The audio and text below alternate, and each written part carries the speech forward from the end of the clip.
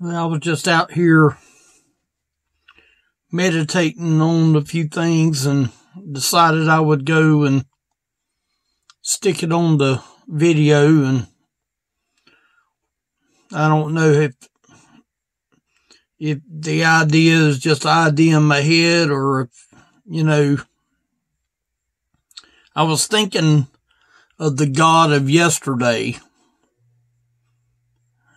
the God of yesterday. Um, I was sitting here thinking about, and I don't remember, I don't have no scriptures tonight, but I believe it's in First Samuel, I think it is, where, um, David is walking up to the giant. I can only imagine what David's thoughts was when he actually saw the size of the giant. I think he was like nine or 10 foot tall. Uh, the man no doubt had to been intimidating. Um, but David was commanded to go to the brook to get the stones. I still don't know why that he picked up five stones. That's what I hear anyway. When he made the pronouncement to the giant that he was going to take his head off, I believe he was actually speaking on behalf of the God that David knew. Um, David didn't have no um, premonition of what God was going to do. He was basically acting on his faith. He didn't know that God was going to take him down. He had a pretty good idea that he was there not in his own power. You know, I, always love to watch wrestling on television when they put the real tiny man up against the great big man. And they do that for ratings. They do it because they know that people will tune in to see what's going on and they will enjoy the, the festival of them sort of fighting with one another, knowing that the big man has a lot of weight and a lot of ability, and the young man is very, um, he's able to move around. He's able to dodge the big man in a lot of ways. But it's good entertainment. But can you imagine David walking up to this giant? And this giant, no doubt, thought he was in the catbird seat. And I don't really know that David knew that he had the ability to throw the slingshot. I think David in the scripture, I believe it Bible even states that he was a man of war, that, that he knew how to fight, that he knew how to wrestle. He knew how to take down the bear. I think the Bible talks about him, uh, uh, taking out the animal that was trying to get the lambs and I think I'm telling you right on that, but I think David had a little bit of a history of what was going on and how that when it was time to put the stone in the slingshot, that he had pretty much already made a dedication that this stone was going to hit him in the head. And sure enough, it wasn't by David's ability but that rock left that slingshot and went into the forehead of the giant and it knocked him down. Now, did the rock knock him out? No, I think the story goes on that David take, take, taken his, um, his sword and he cut his head off. And I think that's what actually killed him. I think the stone was just the means by getting him down to ground level where David could finish him off. See, I could talk to you a lot more about David and the giant, I was thinking about the three Hebrew boys in the fire. Remember how they all said that the king, we will not serve you. If you was to throw us in the fire, that we're still not going to serve you. And imagine what they thought when they was actually tossed into the fiery furnace. Do you think that maybe in their mindset that they thought, well, it's been a good life. We fixing to go into the fiery furnace. But the fiery furnace wasn't hot to them.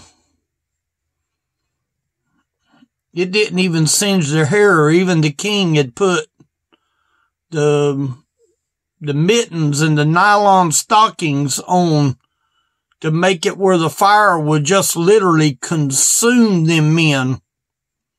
It didn't do it. And the reason it didn't do it is God was there. When the king come back and looked inside the door, he saw four men in the fire. He didn't see three. He saw four. And the fourth was light unto the son of God. My Bible's not open tonight. I'm not sure exactly where that is, but there was four men that was walking in the fire. And can you imagine what the king must have thought looking in there? Now, you know, them soldiers that had threw them in, it was so hot that it even killed some of the soldiers that tossed them into the fiery furnace. It didn't, it didn't harm the three Hebrew boys. They was in the fire and the fire didn't even singe their hair didn't even have a smell of smoke, I think the Bible says. They didn't even have no odor of smoke. I can't get around burning pine cones without having a smell of smoke around me. Can you imagine when the Israelites got to the Red Sea and they started going through and they saw the wall of water. They saw the wall of water and they started walking through on dry ground. Imagine what they was thinking when they saw that hallway open up that they was able to see on both hands, on both sides, the wall extending up several feet, no doubt.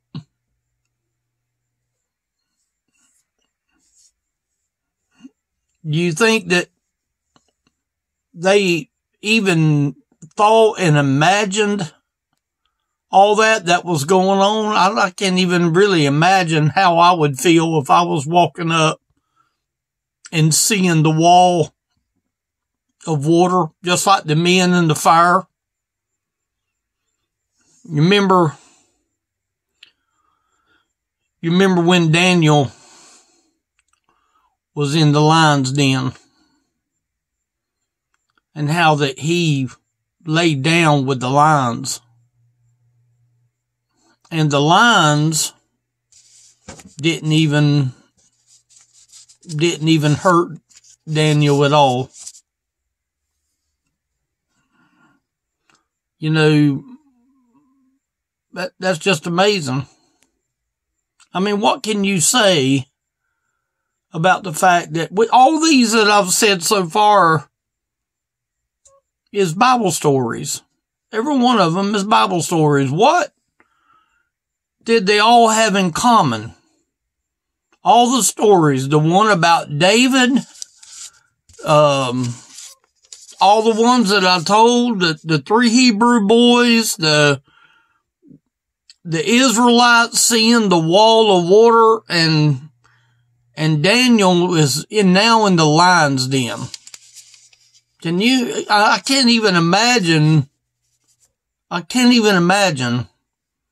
They all had something in common. they was all in a tight situation. You know, God does his best work in a tight situation. Everybody, for the most part, has got Mr. Trump down for the count. Everybody's jumping on the bandwagon saying that it's over with, it's done. You need to concede, you need to give in. What would have happened if David would have given in? What if he would have got scared over the giant and the, and David decided to get scared? Now, before anybody says anything, I am certainly not comparing the situation with politics to David. But you know, if somebody is in the will of God, don't you think that the will of God is going to defend a person if they're in the will of God? I would think that the will of God would help defend the person.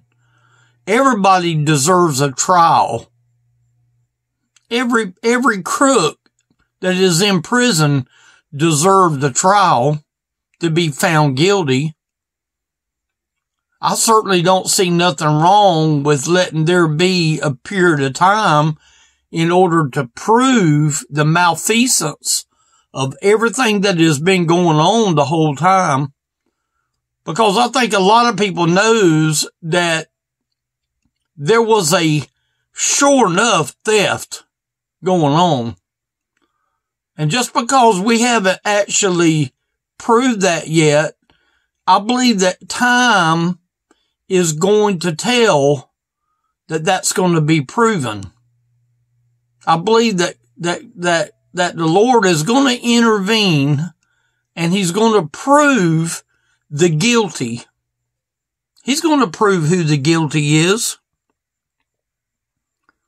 These men that I just talked about, the children of Israel and Daniel in the lion's den and the three Hebrew boys and the Israelites looking at the water and David fighting the giant they all was in a tight situation. But here's what bound them together. They all knew God. David knew God. The children of Israel was God's chosen people. They knew the Lord. Was they always pleasing unto the Lord? No, but they knew the Lord go and look at the three Hebrew boys. Did they make a proclamation and say, you know what? We can be put into that fire, but we're not going to serve you. I'm not going to serve you. They made a proclamation that they're not going to serve the king. So he had them thrown into the fire. See, they was all found in a situation. They all knew God. Do I know that Mr. Trump knows God? I can't look inside his soul. I can look at some of the evidence of the things that he's done over the last four years. Has he had a past that is unbecoming? Sure if I believe if I was looking into your past or you was looking into my past, you would see things that would be unbecoming in me. And I believe I could look into your past and see things that you are not so proud of. So is it, is it impossible that I can look in to the president's and, and see, and see his, his wrongdoing? I'm sure that I could. I think that we all, the Bible says we all have sinned and come short of the glory of God. I personally, I'll say this, I personally didn't vote for Mr. Trump for him to be my pastor. I voted him to be my president. Do I at least owe him enough respect to give him enough time to let him fight the battle. If God is going to fight the battle, God is going to fight the battle. Do I believe that he is on the Lord's side? There's evidence to prove that he is on the Lord's side in just the things that he's done in protecting life.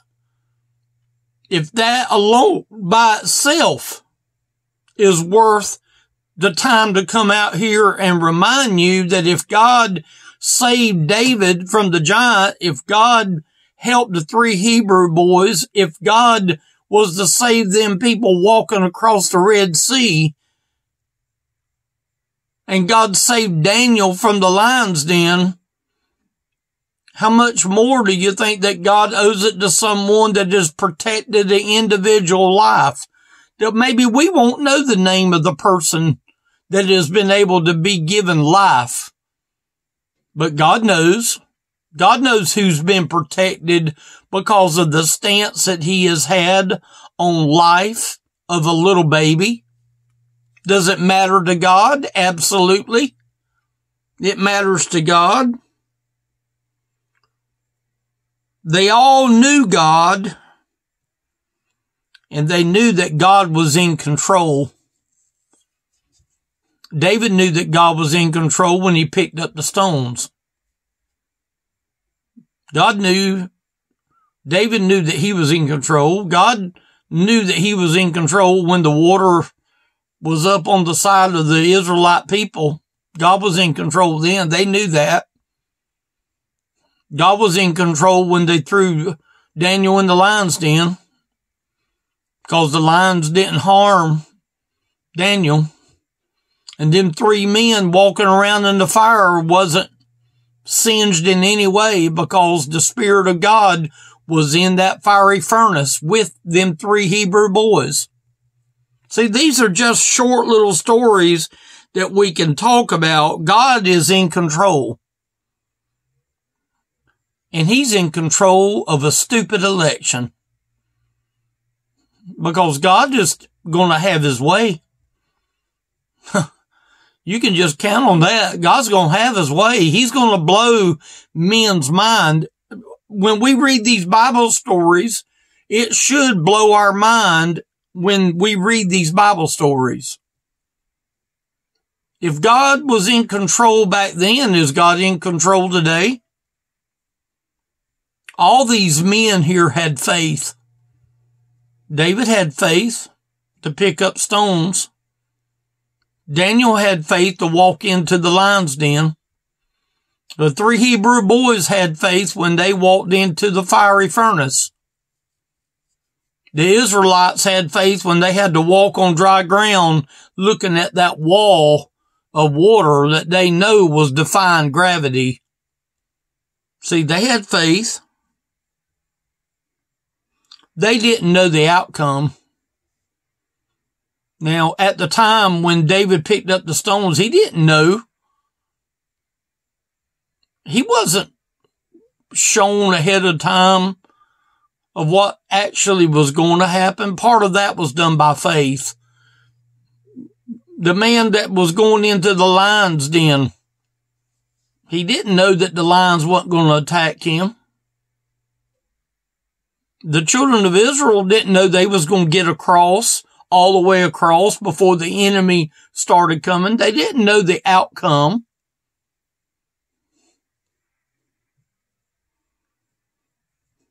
Has God changed any today in 2020? Is it impossible for us to pretend that the Lord is fully in control? My advice today is to stand still and see the salvation of the Lord. I believe this upcoming news in the next couple, two or three or four weeks is going to be amazing. Is literally going to be amazing for people that are looking. I hope that you're looking for the Lord to return. That's what I'm looking for. Elderlyministry.com is the website. There's a phone number there that you can call and you can call me if you'd like to. I'm here to talk to you anytime. Just leave a message when you do, and I'll return your call. Thank y'all for watching.